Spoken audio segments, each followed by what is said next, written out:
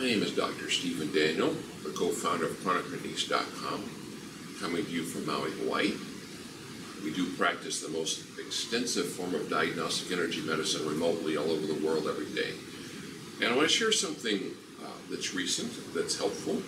Um, many years ago, I was presenting at a conference, and I had, from weight training, had damaged my right arm so much that my right hand, I could hold a glass, but I couldn't close it to pick up a pencil, and I couldn't open it wide. And one of the participants had seen that. And so on a break, he came up and he said, Do you mind if I work on your arm? I said, Absolutely not. I'm always wanting to learn something. And I had done physical therapy and cortisone injections and acupuncture, nothing had worked.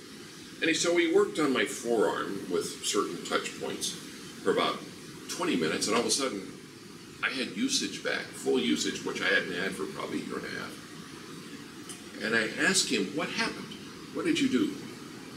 And he said, You had a splinting action in that arm. And I said, Well, what's a splinting action? He said, Well, you know, in terms of evolution, years ago, if you're running from the dinosaur and you injured your ankle and you couldn't limp off to the cave, you got eaten. And so the body learned to split, stiffen up all the muscles, the connective tissue on both sides of that injury so that you could hobble off and heal. He said, You know, you've had an injury there years ago, it never released the splinting action. Well, recently I had done neuroplasticity on a chronic elbow injury that I'd had for 30 years and cleared that completely.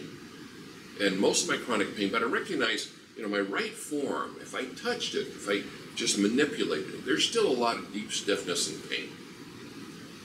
So I went in and I did neuroplasticity on a splinting action, and I got rid of all the pain. The first thing I thought about is splinting action for a physical injury. Since then, I've also seen that a person can have a splintal action from other things. Like, let's say that somebody was sexually assaulted. Do you think they brace their body to protect themselves? Well, that's a splinting action. So, it may be something worth pursuing, and, and all of our QT practitioners have been trained in this technique. If you have something that just won't release, there's this chronic pain, chronic stiffness, besides doing neuroplasticity on that injury, you might want to look at splinting action. It's been a life changer for a number of people. Blessed day from Quantum Techniques Maui.